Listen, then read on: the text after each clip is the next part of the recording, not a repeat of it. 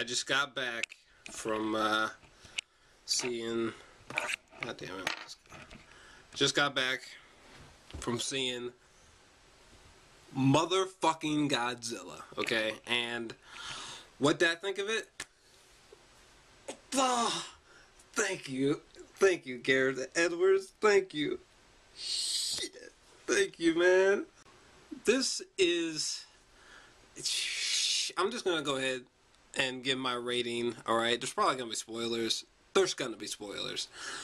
Yeah, a nine out of ten, a ten out of ten. Like God, it just it, it just doesn't. You know what I mean? It just it doesn't it doesn't have that that that thing that makes it ten out of ten.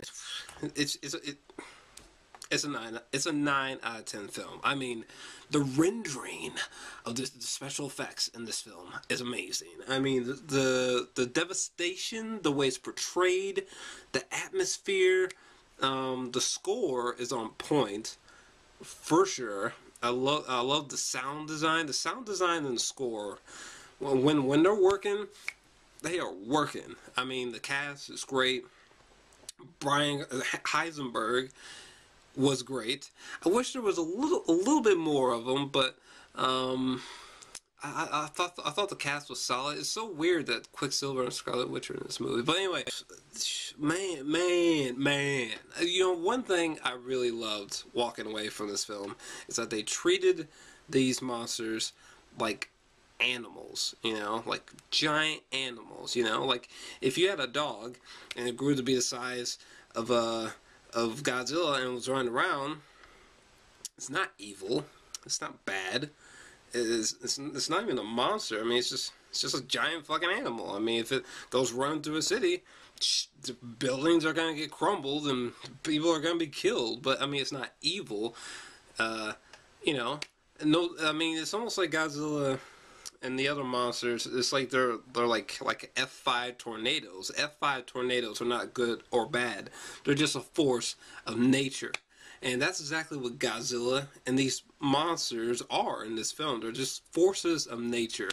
And oh my god, when you see Godzilla for the first time, I didn't get goosebumps, but I had like this giant smile on my face. See, when Ken Watanabe, uh, when when he says, uh, Gojira. I, you know, when he says Godzilla's name, I was like, fuck, that was cool. Um,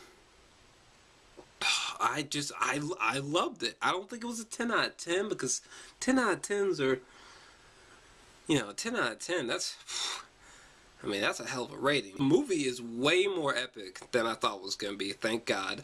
Um, the, thank God all, the trailers didn't didn't spoil the movie at all. You know, unlike you know with the Amazing Spider-Man two.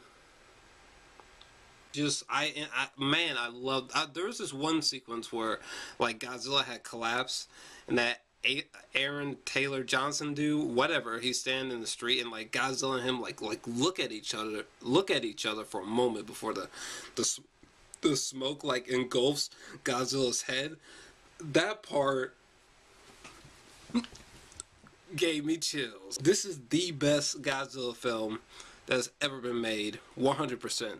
For the love of God, if you have not seen this film, plan on seeing it because it's got my stamp of fucking approval. It is astoundingly good. Whoa. The um the way the way it's directed, the cinematography, the camera angles. I mean, it's so on point. Jesus. Um, the the CGI is used very very uniquely, I must say. I love the the detail in this movie. Like there was a sequence where there was like a flood washing into Hawaii or something like that, and the streets were flooding. Just just the attention to detail was just spot on, man. And I just I love the way that they made Godzilla look. And then when Godzilla, when he did his atomic breath thing, you know, when the fucking, when the spikes light up blue and just amazing.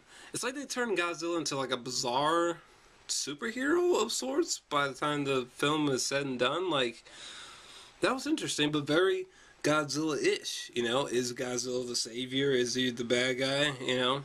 Um, fuck, man. I, I was feeling so bad when those monsters were beating up on Godzilla. I was like, leave him alone. What the fuck? Come on, Godzilla, Gojira, do something. I loved it. And I gotta get to sleep soon because I got work in the morning. So, would you think I didn't see it in 3D? Um, so I can't tell you what it's like in 3D, but I don't think it's like exponentially better in 3D. So I don't think it really matters. But and um, I love this movie. God, I'm so mad that the Interstellar trailer 2 wasn't with my showing. Anyways, let me know your thoughts about the movie down below. I gotta get out of here because I got work in the morning. Peace.